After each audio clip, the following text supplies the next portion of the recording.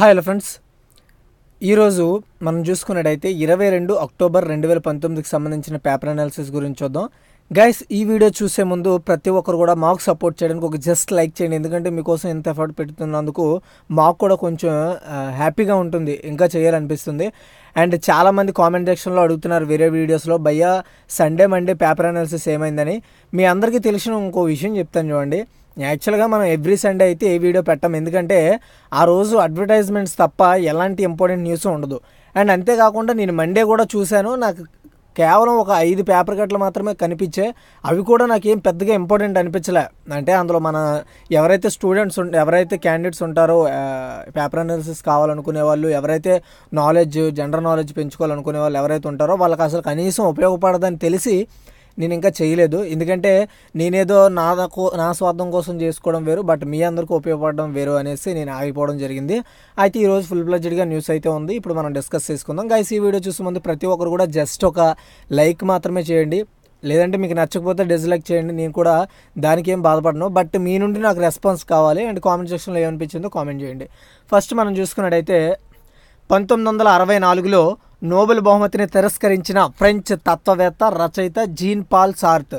Jean Paul Sartre అనమాట పంతొమ్మిది వందల అరవై నాలుగులో అతనికి వచ్చిన నోబెల్ బహుమతిని ఫ్రెంచ్ తత్వవేత్త అయిన రచయిత జీన్ పాల్ సార్త్ తిరస్కరించడం జరిగింది. ఇతనే జీన్ పాల్ సార్త్ అనమాట ఎప్పుడు? పంతొమ్మిది వందల అరవై నాలుగులో. నెక్స్ట్ చూడండి. పంతొమ్మిది వందల అరవై ఎనిమిదిలో భూమిని చేరిన అపోలో సెవెన్. ఓకేనా? అపోలో సెవెన్ ఉపగ్రహం అనమాట ఓకేనా? పంతొమ్మిది వందల ఇగోండి అదే ఇది. సో పంతొమ్మిది వందల అరవై ఎనిమిదిలో భూమిని చేరిన అపోలో సెవెన్. ఇది గుర్తుపెట్టుకుంటే చాలా ఇంపార్టెంట్. పంతొమ్మిది వందల అరవై ఎనిమిదిలో. నెక్స్ట్ కరెక్ట్గా ఇదే రోజునండి. అక్టోబరు ఇరవై రెండో తారీఖున పంతొమ్మిది సంవత్సరాలు వేరు కానీ కరెక్ట్గా ఇదే రోజున అనమాట దీనికి అర్థము చరిత్రలో నేడు అంటే. సో నెక్స్ట్ రెండు వేల ఎనిమిదిలో. రెండు వేల ఎనిమిదిలో చంద్రునిపై అధ్యయనానికి చంద్రయాన్ వన్ అనే భారత్ను తన మొదటి మానవరహిత మిషన్ ప్రారంభించింది. మనకి రెండు వేల పంతొమ్మిదిలో చంద్రయాన్ టూను ప్రయోగించింది. కాకపోతే అది మనకు ఫెయిల్ అవ్వడం జరిగింది. అయితే ఇంతకుముందు ఎప్పుడు పంపించిందంటే రెండు వేల ఎనిమిదిలో చంద్రయాన్ వన్ని చంద్రునికి అధ్యయనం కోసం పంపించడం జరిగింది. మొదటి మానవ రహిత మిషన్ అనమాట ఇది. ఓకే? మానవ రహిత మిషన్.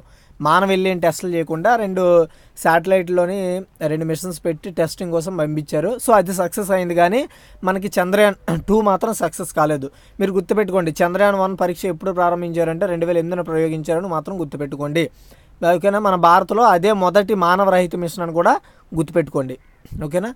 నెక్స్ట్ చూడండి యాక్చువల్గా మనకి కాశ్మీర్లోని కుప్వారా జిల్లాలో పాకిస్తాన్ దళాలు జరిపిన కాల్పుల్లో మృతి చెందిన ఇద్దరు భారత జవాన్ల మృతదేహాలు సోమవారం ఢిల్లీలోని ఇందిరాగాంధీ అంతర్జాతీయ విమానాశ్రయానికి చేరుకున్నప్పటి దృశ్యం. సో ఇది మనకేం పెద్దగా ఇంపార్టెంట్ కాదు. బట్ ఏంటంటే మన కోసం వాళ్ళు చేస్తున్న సేవకి అంతేకాకుండా మన భారతదేశానికి వాళ్ళు అందిస్తున్న సేవలకి వాళ్ళ పౌరత్వాన్ని నిరూపించుకుంటున్నారు. సో దానికోసమని నేను ఈ వీడియో అయితే చే ఈ యొక్క మ్యాటర్ని కట్ చేశాను. సో నాకు తెలిసినంత వరకు మన దేశంలో గొప్ప వ్యక్తులు ఎవరైనా ఉన్నారంటే అది జవాన్లనే చెప్పుకోవచ్చు. సో మనం చదువుతాం చదివి గొప్ప పేరు తెప్పించుకుంటాం లేదంటే పెద్ద పెద్ద హోదాల్లో వెళ్తాం. సో మనందరం భద్రంగా బతకడానికి వాళ్ళ ఒక వాళ్ళ జీవిత జీవితాన్ని త్యాగం చేస్తూ వాళ్ళ కుటుంబాలని వాళ్ళ ఇష్టాలని అన్ని పక్కన పెడుతూ మీరు అనుకోవచ్చు గవర్నమెంట్ వాళ్ళకి శాలరీలు ఇస్తుంది కదా అని. శాలరీలు ఒక ఎత్తండి శాలరీ ఇదే జాబ్ చేస్తూ సంపాదించాల్సిన అవసరం లేదు. వేరే వేరే ఉద్యోగాలు చేస్తూ సంపాదించవచ్చు బట్ జవాన్లు ఏంటంటే దేశ రక్షణ ఒక స్వార్థం అయితే వాళ్ళ జీవితాలు కూడా ఒక స్వార్థం. రెండింటిని ఫలంగా పెట్టి వాళ్ళు పోరాడుతున్నారు. సో వాళ్ళు ఇప్పటికీ కూడా మనం ఎంత పెద్ద హోదాలో ఉన్నా సరే ఒక షోల్డర్కి ఒక షోల్జర్కి ఒక సైనికుడికి మనం ఎప్పటికీ కూడా గౌరవం ఇస్తూనే ఉండాలి. అది ఏ విధంగా అయినా సరే. సో నాకు తెలిసినంత వరకు మన ఇండియాలో మన ఇండియాలోనే కాదు ప్రపంచంలో గొప్ప వ్యక్తులు ఎవరైనా ఉన్నారంటే అది సైనికులేనండి. వాళ్ళ మించింది ఎవ్వరూ లేరు. సో ఇది దీనికోసమని ఒకసారి గుర్తు చేయడం కోసం మాత్రమే ఈ ఆర్టికల్ కట్ చేశాను. సో నెక్స్ట్ చూడండి. ప్రపంచ వృద్ధికి చైనా భారత్ ఇంజన్లో నాకు ఆర్టికల్ ఇచ్చారు. ఇది చాలా ఇంపార్టెంట్ ఆర్టికల్ ఈ ఈ ఆర్టికల్ ఈ వీడియో చూడండి. రెండు వేల ఇరవై నాలుగు నాటికి ఆసియా దేశాలదే పైచేయి మూడో స్థానానికి పడిపోనున్న అమెరికా. మాంద్యంలోని భారత్ బ్రెజిల్ ముందుకే ఐఎంఎఫ్ బ్లూబర్గ్ అంచనా. ఇప్పుడు చూద్దాం చూడండి. వాణిజ్య భయాలు రాజకీయ అస్థితరతలు ఓకేనా? అస్థితరతలు ప్రపంచ ఆర్థిక వృద్ధి రేటు ముందిరి కాళ్ళకు బంధనాలుగా మారాయి. ఇప్పటికీ ప్రపంచవ్యాప్తంగా మాంద్యం ఛాయలు కనిపిస్తున్నాయి. ఈ దుష్ప్రభావం ఎప్పటికప్పుడే తొలగే అవకాశం లేదని ఆర్థికవేత్తలు హెచ్చరిస్తున్నారు. వృద్ధి రేటు మందగమనం మరో ఐదేళ్ళు కొనసాగుతుందని కూడా స్పష్టం చేస్తున్నారు. రాబోయే అర్ధ దశాబ్దం మాంద్యం బాధతోనే గడిచిపోతుందని అంచనా వేస్తున్నారు. ఈ క్రమంలో ఆర్థిక శక్తుల జాబితాలో ఆసక్తికర మార్పులు చేసు- చోటు చేసుకుంటాయని తాజా నివేదికలో ఐఎంఎఫ్ ఇంటర్నేషనల్ మానిటరీ ఫండ్ అంటారు ఐఎంఎఫ్ని ఓకేనా? ఐఎంఎఫ్ని విస్తరింపమని మీరు ఎక్కడైనా క్వశ్చన్ విన్నారనుకోండి ఇంటర్నేషనల్ ఐ అంటే ఇంటర్నేషనల్ ఎం అంటే మానిటరీ ఎఫ్ అంటే ఫండ్ అనమాట గుర్తుపెట్టుకోండి. కుండ బద్దలు కొట్టింది. రెండు వేల ఇరవై నాలుగు నాలుగు నాటికి అగ్రరాజ్య అమెరికాను ఇండియా వెనక్కి నెట్టేస్తుందని ఆసియా అగ్రదేశాలైన చైనా భారత ప్రపంచ ఆర్థిక వృద్ధి రేటుకు ఇంజిన్లుగా మారతాయని పేర్కొంది. ఓకేనా? ప్రపంచానికి ఆర్థిక వృద్ధి రేటు ఇంజిన్లుగా మారేవి చైనా తర్వాత స్థానంలో భారత్ అనమాట ఓకేనా? సో ఇప్పుడు ఏంటంటే చైనా ఉంది తర్వాత వచ్చేసి అమెరికా ఉంది. ఇప్పుడు రాబోయే రెండు వేల ఇరవై నాటికి అమెరికాను వెనక్కి నెట్టి భారత్ ముందుకు వస్తుందనేసి ఈ ఐఎంఎఫ్ అనేది అంచనా వేయడం జరిగింది. ఐఎంఎఫ్ నివేదిక ప్రకారం చైనా వృద్ధి రేటు ఇటీవల కాలంలో బాగా నెమ్మదించింది. భవిష్యత్తులోనూ ఇదే మందగమనం కొనసాగుతుందని సమీకాలంలో అంతర్జాతీయ వృద్ధి రేటులో చైనా ప్రభావం కొంతమేరకు తగ్గనుంది. రెండు వేల పద్దెనిమిది పంతొమ్మిదిలో ముప్పై రెండు పాయింట్ ఏడు శాతంగా ఉన్న గణాంకాలు రెండు వేల ఇరవై నాలుగు నాటికి నాలుగు పాయింట్ నాలుగు శాతం క్షీణించి ఇరవై ఎనిమిది పాయింట్ మూడు శాతానికి పడిపోతుందని అండ్ ఈ ఏడాది ప్రపంచ వృద్ధి రేటు మూడు శాతం మేరకు నెమ్మదించే అవకాశం ఉంది. మొత్తంగా తొంభై శాతం దేశాలు తీవ్రంగా ప్రభావితం అవుతాయని చెప్పింది. రాబోయే ఐదేళ్ళలో అమెరికా పరిస్థితి అంతంత మాత్రంగానే ఉంటుంది. ప్రపంచ వృద్ధి గమనంలో అగ్రరాజ్యం వాటా పరిమిత స్థాయిలోనే ఉంటుంది. వర్తమానం కంటే ఒక మెట్టు కిందకి జారుతుంది. ఈ క్రమంలో మూడవ స్థానానికి పడిపోతుంది అమెరికా. అంతర్జాతీయ వృద్ధి పాయింట్లలో పదమూడు పాయింట్ ఎనిమిది శాతం నుంచి తొమ్మిది పాయింట్ రెండు శాతానికి అమెరికా ప్రాబల్యం తగ్గనుంది. ఇదే సమయంలో ఇండియా అందరికంటే మెరుగైన ఫలితం సాధిస్తుంది. మందగమనంలోనూ ముందడుగేస్తుంది. అంతర్జాతీయ ఇండెక్స్లో పదిహేను పాయింట్ ఐదు శాతం పాయింట్లతో చైనా తర్వాత రెండో స్థానానికి చేరుకుంటుందని ఐఎంఎఫ్ నివేదికలో ఆధారంగా బ్లూబర్గ్ అంచనా వేయడం జరిగింది. ఇచ్చిన ఐఎంఎఫ్ అంటే ఇంటర్నేషనల్ మానిటరీ ఫండ్ ఇచ్చిన నివేదిక ప్రకారం దీన్ని బ్లూబర్గ్ ఓకేనా బ్లూంబర్గ్ అనే ఒక సంస్థ అంచనా వేసింది. సో మిగతా దేశాల విషయానికి వస్తే ఇండోనేషియా మూడు పాయింట్ ఏడు శాతం ఎప్పటిలాగే నాలుగో స్థానంలో కొనసాగే అవకాశం ఉంది. బ్రెగ్జిట్ కారణంగా బ్రిటన్ వృద్ధి రేటు తీవ్రంగా ప్రభావితం కానుంది. దీంతో తొమ్మిదవ స్థానం నుంచి పదమూడవ స్థానానికి బ్రెగ్జిట్ అనేది వెళ్ళవచ్చు. సో బ్రిటన్ అనేది వెళ్ళవచ్చు. సో ఇది మ్యాటర్. సో ఇక్కడ మనం చూసుకున్నట్టయితే బ్రెజిల్ ఆరో స్థానానికి జపాన్ తొమ్మిదో స్థానానికి జర్మనీ ఏడో స్థానానికి చేరుకుంటాయి వచ్చే ఫైవ్ ఇయర్స్లో ప్రపంచ వృద్ధి రేటును ప్రభావితం చేసే ఇరవై దేశాల జాబితాలో గుర్తుపెట్టుకోండి. వచ్చే ఐదేళ్ళలో ప్రపంచ వృద్ధి రేటును ప్రభావితం చేసే ఇరవై దేశాలలో జాబితాలో Turkey Mexico Pakistan Saudi Arabia ప్రవేశిస్తాయని చెప్పడం జరిగిందనమాట అదే టైంలో స్పెయిన్ పోలాండ్ కెనడా వియత్నాం దేశాలు టాప్ ట్వంటీ నుంచి అంటే బ్యాక్ అంటే టాప్ ట్వంటీ తర్వాత ప్లేసులకు వెళ్ళిపోయే అవకాశం కూడా ఉందని ఏదైతే మనకు ఐఎంఎఫ్ ఇచ్చిన నివేదిక బ్లూమ్ బ్లూంబర్గ్ అనేది అంచనా వేయడం జరిగింది. నెక్స్ట్ చూడండి. స్పష్టమైన అంతరిక్ష చిత్రాల కోసం కొత్త టెలిస్కోప్ కెమెరా అభివృద్ధి. భారత పరిశోధకురాలు అంగినా బల్బుల్ ఘనత. అంగిక. అంగిక బల్బుల్. సారీ బుల్బల్. అంగిక బుల్. ఓకేనా? బుల్బుల్ ఘనత అని చెప్పడం జరిగింది. చూడండి మనకి ఇక్కడ ఏదైతే ఒక శాటిలైట్ కనబడుతుందో స్పష్టమైన అంతరిక్ష చిత్రాల కోసం కొత్త టెలిస్కోప్ కెమెరా అభివృద్ధి. భారత పరిశోధకురాలు ఎవరండి? భారత పరిశోధకురాలు అంగీక బుల్బుల్ ఘనత. అంగీక బుల్బుల్. ఓకేనా? భారత పరిశోధకురాలు పరిశోధకురాలు అంగీక బుల్బుల్. టెలిస్కోప్ నుంచి మనం అంతరిక్షంలోకి చూసినప్పుడు కనిపించే వాటిని ఫోటోలు తీయలేం. ఖరీదైన కెమెరాలతో తీయడానికి ప్రయత్నించిన అవి అంత స్పష్టంగా రావు. అంతరిక్షంలో ఫోటోలు తీసినప్పుడు అంతే. అయితే ఇజ్రాయెల్లో పిహెచ్డి చేస్తున్న భారత పరిశోధకురాలు అంగీక బుల్బుల్ కొత్త టెలిస్కోప్ కెమెరాను అభివృద్ధి చేశారు. పాల ప్యాకెట్ల పరిమాణంలో ఉండే చిన్న చిన్న ఉపగ్రహాలను గుండ్రటి నిర్మాణంలో అమర్చి టెలిస్కోప్ లెన్స్ సహాయంతో ఈ కెమెరాను రూపొందించారు. దీని ద్వారా అత్యంత తక్కువ ఖర్చుతో అంతరిక్షంలోకి ఫోటోలను తీయవచ్చని ఆమె తెలపడం జరిగింది. ఓకేనా? సో ఇది ఎవరు తయారు చేశారంటే భారత భారత పరిశోధకురాలు అంగికా బుల్బుల్ అనమాట ఓకేనా? ఏంటి? కొత్త టెలిస్కోప్ కెమెరా. కొత్త టెలిస్కోప్ కెమెరా అభివృద్ధి చేసింది ఎవరంటే భారత పరిశోధకురాలు అంగికా బుల్బుల్. ఓకేనా? ఇటీవలే కొత్త టెలిస్కోప్ దేనికోసం? స్పష్టమైన అంతరిక్ష చిత్రాల కోసం కొత్త టెలిస్కోప్ కెమెరాను అభివృద్ధి చేసిన భారత పరిశోధకురాలు ఎవరైనా అడిగారు అనుకోండి ఎక్కడైనా. మనకి అంగీకా బుల్బుల్ అని మాత్రం ఖచ్చితంగా గుర్తుపెట్టుకోండి. అంగీకా బుల్బుల్. మీరు బుల్బుల్ అని గుర్తుపెట్టుకుంటే ఆటోమేటిక్గా మనకి ఇచ్చే మల్టీ చాయిస్ చాయిసెస్లో మనం ఈజీగా మనం ఐడెంటిఫై చేయొచ్చు క్వశ్చన్ ఆన్సర్ని ఓకేనా అంబి అంగికా బుల్బుల్. నెక్స్ట్ చూడండి. Rajasthan chief coach Matt McDonald. IPL Rajasthan Royals జట్టు ప్రధాన కోచ్గా ఆస్ట్రేలియా మాజీ ఆల్రౌండర్ ఆండ్రూ మెక్డొనాల్డ్ నియమితుడయ్యాడు మూడేళ్ళ కాలానికి గాను అతనితో ఒప్పందం చేసుకున్నట్లు రాజస్థాన్ యాజమాన్యం ప్రకటించింది. ముప్పై ఎనిమిదేళ్ళ ఆండ్రూ ఐపీఎల్ రెండు వేల పంతొమ్మిది సీజన్లో ఢిల్లీ డేర్ డెవిల్స్కు రెండు వేల పదమూడు పద్నాలుగు సీజన్లో రాయల్ ఛాలెంజర్స్ బెంగళూరు జట్లకు ఆటగాడిగా ప్రాతినిధ్యం వహించాడు. ఓకేనా? మనకు ప్రతి ఏడాది జరిగే ఐపీఎల్లో రాజస్థాన్ టీంకి చీఫ్ కోచ్గా మెక్డొనాల్డ్ అనే అతను ఎంపిక అవడం జరిగింది. అతను ఆస్ట్రేలియాకి చెందిన మాజీ ఆల్రౌండర్ అనమాట అతని పూర్తి పేరు ఆండ్రూ మెక్డొనాల్డ్ అని మీరు గుర్తుపెట్టుకోండి. ఓకేనా? ఇది మ్యాటర్.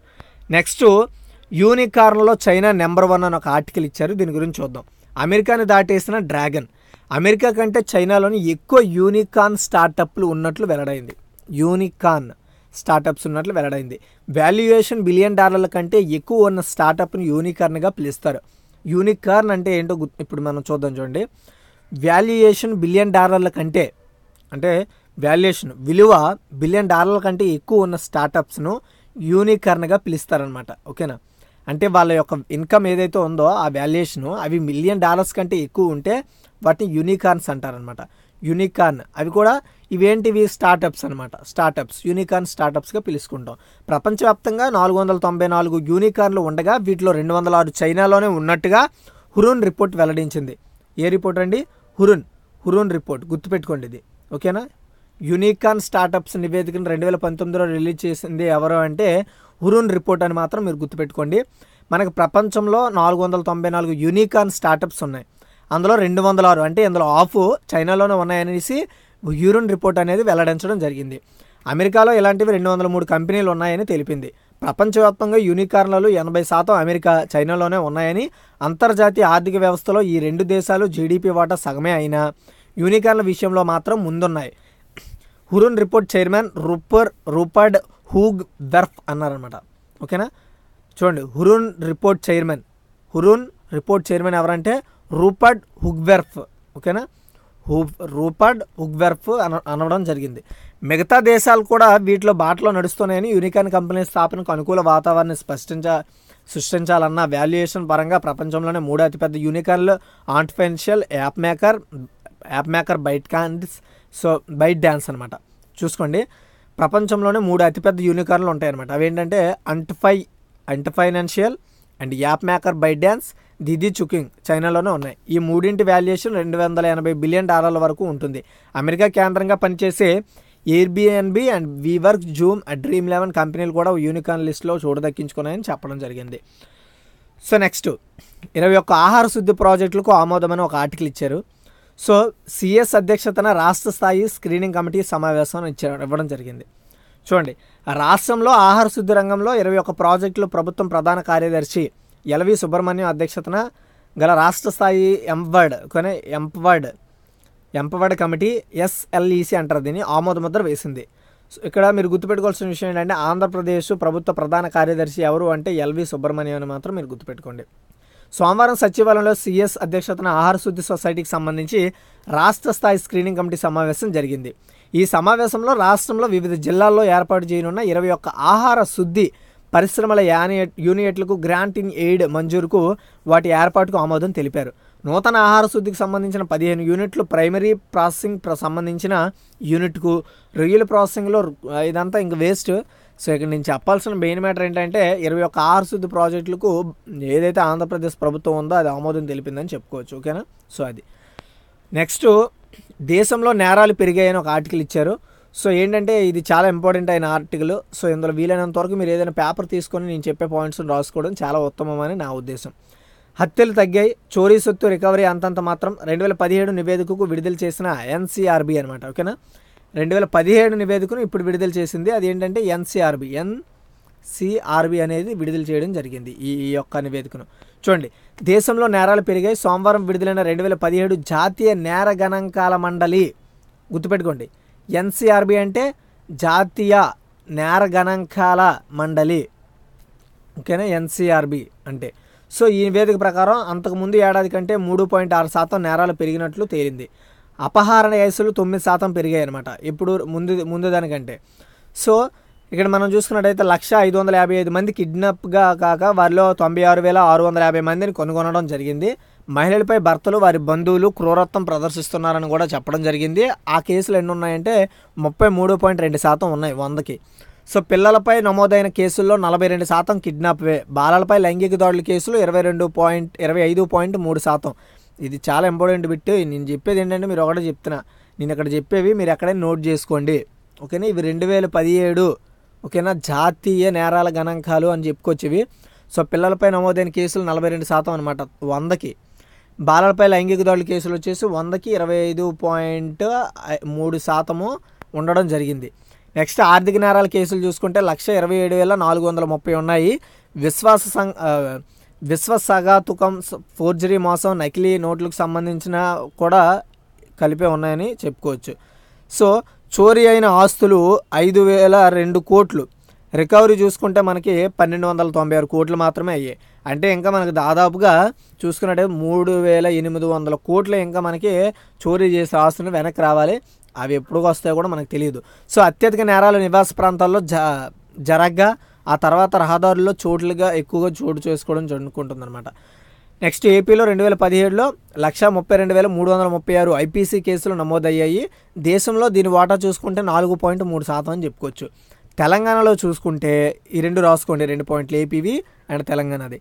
ఏపీలో రెండు వేల పదిహేడులో లక్ష ముప్పై రెండు వేల మూడు వందల ముప్పై ఆరు ఐపీసీ కేసులు నమోదయ్యాయి. దేశంలో దీని వాటా చూసుకుంటే నాలుగు పాయింట్ మూడు శాతం. మీకు క్వశ్చన్ ఎలా అడుగుతాడంటే ఏపీలో రెండు వేల పదిహేడులో ఐపీసీ కేసులు భారతదేశం వైజ్గా భారతదేశం వైజ్గా ఏపీలో వాటా ఎంత? గుర్తుపెట్టుకోండి. భారతదేశం రెండు వేల పదిహేడు ఐపీసీ కేసులు నమోదయ్యాయి. అందులో ఏపీ వాటా ఎంత అని అడిగాడు అనుకోండి క్వశ్చన్ ఎక్కడైనా నాలుగు పాయింట్ మూడు శాతం అని మీరు గుర్తుపెట్టుకోండి. తెలంగాణలో చూసుకుంటే లక్ష పంతొమ్మిది వేల ఎనిమిది వందల యాభై ఎనిమిది కేసులు నమోదయ్యాయి. ఇందులో ఓకేనా? జాతీయ ఇక్కడ మీరు బాగా గుర్తుపెట్టుకోండి. జా దేశంలో ఐపీసీ కేసుల నమోదులో తెలంగాణ వాటా ఎంత అని అడిగాడు అనుకోండి. మూడు పాయింట్ తొమ్మిది శాతం అని చెప్పుకోవచ్చు. సో ఇందులో మనం ఏపీ అండ్ తెలంగాణ కంపేర్ చేసుకుంటే తెలంగాణలో చాలా తక్కువ ఉన్నాయి. ఏపీలో చాలా ఎక్కువ ఉన్నాయని చెప్పుకోవచ్చు. అత్యధికంగా ఉత్తరప్రదేశ్లో పది పాయింట్ ఒక శాతం కేసులు నమోదయ్యాయి. ఇక్కడ మనకు ఇంకో క్వశ్చన్ కూడా అడగవచ్చు భారతదేశంలో భారతదేశంలో ఐపీసీ కేసుల నమోదులో ఉత్తరప్రదేశ్ వాటా ఎంత అని అడిగాడు అనుకోండి పదో పాయింట్ ఒకటి శాతం అడగవచ్చు ఒకటి శాతం అని మీరు గుర్తుపెట్టుకోండి. ఇంకో విధంగా కూడా క్వశ్చన్ అడగవచ్చు ఎలాగా? భారతదేశంలో ఐపీసీ కేసుల నమోదులో అగ్రస్థానంలో అత్యధికంగా అగ్రస్థానంలో ఉన్న రాష్ట్రం ఏదైనా అడిగాడు అనుకోండి ఉత్తరప్రదేశ్ అని మాత్రం గుర్తుపెట్టుకోండి. ఓకేనా? ఉత్తరప్రదేశ్. సో నెక్స్ట్ దేశంలో జైళ్ళలో ఖైదీల సంఖ్య నాలుగు పాయింట్ ఏడు పాయింట్ నాలుగు శాతం పెరిగింది.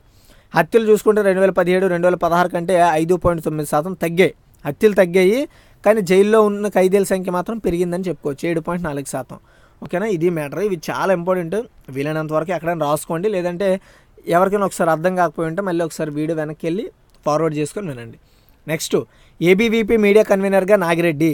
Andhra Pradesh media public relation కన్వీనర్గా చిట్యాల నాగిరెడ్డిని ఏకగ్రీవంగా ఎన్నుకున్నట్లు అఖిల భారతీయ విద్యార్థి పరిషత్ ఏబీవీపీ సోమవారం ఒక ప్రకటనలో అయితే తెలిపింది. ఎందుకంటే ఇది ఇంపార్టెంట్ మ్యాటర్ కాదు. సో ఇంతవరకు అయితే ఇంపార్టెంట్గా ఉండొచ్చు. సో ఎవరికైనా కావాలనుకుంటే మాత్రం నోట్ చేసుకోండి. ఓకేనా? ఆంధ్రప్రదేశ్ మీడియా పబ్లిక్ రిలేషన్ కన్వీనర్గా చిట్యాల నాగిరెడ్డి ఏకగ్రీవంగా ఎన్నికవడం జరిగింది. ఇది ఎవరు ఎంపిక చేశారంటే అఖిల భారతీయ విద్యార్థి పరిషత్ ఏబీవీపీ సోమవారం వెల్లడించింది. నెక్స్ట్ ఆరోగ్య మిషన్ ప్రాజెక్ట్ మేనేజర్గా అప్పారావు అని ఒక ఆర్టికల్ ఇచ్చారు. ఇది చూడండి. జాతీయ ఆరోగ్య మిషన్ స్టేట్ ప్రాజెక్ట్ మేనేజర్గా కె అప్పారావు నియమించారు. ఇది గుర్తుపెట్టుకోండి. ఇది జాతీయ ఆరోగ్య మిషనే కానీ మన ఆంధ్రప్రదేశ్ ఏదైతే ఉందో దాని స్టేట్ ప్రాజెక్ట్ మేనేజర్గా కె అప్పారావు నియమించారు. ఈ మేరకు వైద్య ఆరోగ్య శాఖ ముఖ్య కార్యదర్శి డాక్టర్ కెఎస్ జవహర్ రెడ్డి సోమవారం ఉత్తర్వులు జారీ చేశారు. కుటుంబ సంక్షేమ శాఖలో డిప్యూటీ డైరెక్టర్గా ఉన్న అప్పారావు ప్రస్తుతం వైఎస్ఆర్ కంటి వెలుగు పథకం నిర్వహణ బాధ్యతలు కూడా ఇతనే చూడడం జరుగుతుంది.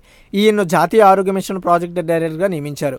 గతంలో నూట ఎనిమిది నూట నాలుగు పథకాల స్పెషల్ ఆఫీసర్గా పనిచేశారు. ప్రస్తుతం స్టేట్ ప్రాజెక్ట్ మేనేజర్గా ఉన్న డాక్టర్ రమేష్ను తన పూర్వ విభాగంలో పంపించడం జరిగింది.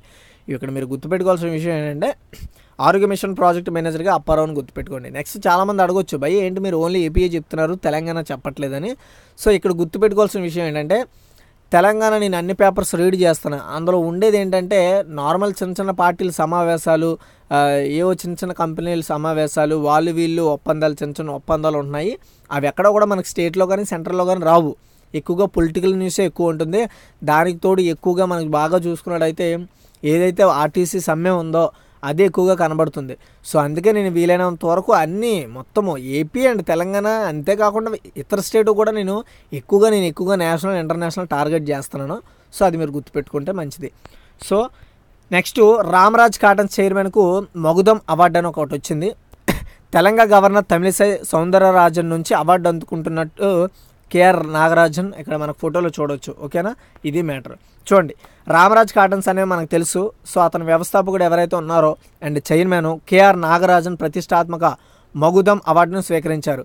క్రీడలు వ్యాపారం ఆరోగ్య సంరక్షణ కళలు సాహిత్యం లాంటి వివిధ రంగాల్లో విశేష సేవలు అందించిన వ్యక్తులకు ప్రతి సంవత్సరం మగుదం అనే అవార్డుతో సత్కరిస్తారు. సో రెండు వేల పంతొమ్మిది సంవత్సరానికి వ్యాపార విభాగంలో బిజినెస్ విభాగంలో ఉత్తమ వ్యాపారవేత్తగా ఆర్కే నాగరాజన్ను ఈ అవార్డు భరించింది చెన్నైలో జరిగిన అవార్డుల ప్రధానోత్సవ కార్యక్రమంలో తెలంగాణ గవర్నర్ తమిళిసై సౌందరరాజన్ చేతుల మీదుగా ఆయన అవార్డును అందుకున్నారు. దక్షిణాది సాంప్రదాయమైన పంచికట్టును తన రామరాజ్ కాటన్స్ ద్వారా ఆయన ప్రపంచవ్యాప్తంగా తెలిసేలా చేశారు. తద్వారా చేనేత కార్మికులకు ప్రోత్సాహం కూడా కల్పిస్తున్నారనేసి ఈ మగుదం అవార్డుతో సత్కరించడం జరిగింది. రెండు వేల పంతొమ్మిది ఓకేనా మగుదం అవార్డు ఎవరికి ఇచ్చారు అని అడిగితే మీరు బాగా గుర్తుపెట్టుకోండి. రామరాజన్ కాటన్ వ్యవస్థాపకుడు అంతేకాకుండా చైర్మన్ కేఆర్ నాగరాజన్కు ఈ అవార్డు అనేది ప్రకటించారు. ఈ అవార్డు పేరు ఏంటంటే మగుదం. ఈ అవార్డు దేనికి ఇస్తారని అంటే గుర్తుపెట్టుకోండి. క్రీడలు వ్యాపారం ఆరోగ్య సంరక్షణ కళలు సాహిత్యం లాంటి వివిధ రంగాల్లో విశేష సేవలు అందించిన వారికి ఈ అవార్డు అనేది ఇవ్వడం జరుగుతుంది. ఒకటైనా క్లారిటీగా గుర్తుపెట్టుకోండి. సో నెక్స్ట్ చూడండి టీబీకి కిందట ఏడాది కిందట ఏడాది నాలుగు పాయింట్ ఐదు లక్షల మంది బలి ప్రపంచవ్యాప్తంగా పదిహేను లక్షల మంది చనిపోవడం జరుగుతోంది. రిపోర్ట్లో ఉన్న కొన్ని అంశాల గురించి మాత్రమే నేను ప్రస్తావిస్తాను. రెండు వేల పద్దెనిమిదిలో మొత్తం టీబీ కేసులు చూసుకుంటే ఇక్కడ చూడండి మనకి ఇరవై ఆరు లక్షల తొంభై వేలు నోటిఫైడ్ అయ్యాయి. సారీ తొంభై లక్షలు. ఇందులో నోటిఫైడ్ చూసుకుంటే పంతొమ్మిది లక్షల తొంభై వేలు మాత్రమే నోటిఫైడ్ అయ్యాయి. సో పిల్లల్లో పదమూడు శాతం మహిళల్లో ముప్పై ఒక శాతం పురుషుల్లో యాభై ఆరు శాతం ఉంది. ఎక్కువగా ఇది పురుషుల శాతమే ఉంది. రెండు వేల పదిహేడులో టీబీ కేసులు ఎక్కువగా ఎవరిపై ఎక్కువ ప్రభావం చూపాయని ఎక్కడైనా అడిగితే పురుషులు అని చెప్పుకోవచ్చు. శాతం అడిగితే యాభై ఆరు శాతం. ఇందులో మహిళల శాతం అని ఎక్కడైనా అడిగితే ముప్పై ఒక శాతం. పిల్లల శాతం ఎక్కడైనా ఎంత అడిగితే పదమూడు శాతం అని గుర్తుపెట్టుకోండి. డ్రగ్ రెసిస్టెంట్ టీబీ వచ్చిన వాళ్ళు లక్ష ముప్పై వేల మంది ఉన్నారు. హెచ్ఐవి ప్లస్ టీబీ బాధితులు తొంభై రెండు వేల మంది ఉన్నారు. ట్రీట్మెంట్ తీసుకున్న వాళ్ళు డెబ్బై నాలుగు శాతం. ట్రీట్మెంట్ సక్సెస్ రేట్ చూసుకుంటే ఎనభై ఒక శాతం. రెండు వేల ఇరవై రెండు ట్రీట్మెంట్ టార్గెట్ చూసుకుంటే తొంభై శాతం. రెండు వేల పద్దెనిమిదిలో టీబీ మరణాలు చూసుకుంటే నాలుగు లక్షల నలభై తొమ్మిది వేలు నలభై తొమ్మిది ఉన్నాయని మనం చూసుకోవచ్చు. సో ఇందులో హెచ్ఐవి టీబీ బాధితులు తొమ్మిది వేల ఏడు వందలు ఉండడం జరిగిందనమాట. సో ఈ పాయింట్ని ఇలాగా మీరు గుర్తుపెట్టుకోండి. ఓకేనా? సో అది. ఇంకెందులో మనం ఎక్కువగా చెప్పుకోవాల్సింది ఏంటంటే డ్రగ్ రెసిస్టెన్స్ టీబీ మందులకు లొంగని టీబీ వల్లే ఎక్కువగా మరణాలు నమోదుతున్నట్టు నివేదికలో పేర్కొన్నాయి. ప్రపంచ టీబీ కేసుల్లో ఇరవై ఏడు శాతం కేసులతో ఇండియా తొలి స్థానంలో ఉందంట. ఫస్ట్ ప్లేస్లో టీబీలో ఫస్ట్ ప్లేస్లో ఉన్న స్థానం ఏంటంటే టీబీ కేసుల్లో ఇరవై ఏడు శాతంతో ఇండియా ఫస్ట్ ప్లేస్లో ఉంది. తర్వాత స్థానంలో చైనా ఉంది. దాని పర్సంటేజ్ వచ్చేసి తొమ్మిది. ఇండోనేషియా పర్సంటేజ్ వచ్చేసి ఎయిత్. ఫిలిప్పీన్ వచ్చేసి ఆరు శాతం ఉండడం జరిగింది. First place India first place second place China third place Indonesia Indonesia fourth place points అనమాట ఇవి పర్సంటేజెస్ కూడా గుర్తుపెట్టుకోండి మీరు. నెక్స్ట్ ఫైనల్గా ఇదే ఆర్టికల్ అయితే. సో గాయస్ ఫైనల్గా మనం ఈరోజు అయితే పేపర్ అనాలిసిస్ అంతా చూసాం. నాకు తెలిసినంత వరకు చాలా ఇంపార్టెంట్ న్యూస్లు ఉన్నాయి. సో వీలైనంత వరకు ప్రతి ఒక్కరు నోటెడ్ నోటెడ్ చేసుకోండి. నేను ఒకటే చెప్తా. మీరు నోట్ చేసుకోండి ఎక్కడైనా. డేట్ పెట్టుకోండి. డేట్ వైజ్గా ఇంపార్టెంట్ పాయింట్స్ని రాసుకోండి. మీరు రివీల్ చేసుకుంటూ పోతుంటే అవే మీకు క్వశ్చన్స్ అయిపోతాయి అనమాట ఓకేనా సో ఇది. సో ఇది ఎవరైతే ఉద్యోగాలకి ప్రభుత్వ ఉద్యోగాలకు ప్రయత్నిస్తారో వాళ్ళకు యూస్ఫుల్గా ఉంటుంది. ఇంతగా వీడియో నచ్చితే లైక్ చేసి షేర్ చేసి మరిన్ని అప్డేట్స్ కోసం మన ఛానల్ సబ్స్క్రైబ్ చేసుకొని పక్కన ఉండే బెల్ ఐకన్ క్లిక్ చేసిన తర్వాత ఆల్ అనే ఆప్షన్ ఎంచుకోండి. మీ వీడియో చేయగానే మీకు నోటిఫికేషన్ రావడం జరుగుతుంది.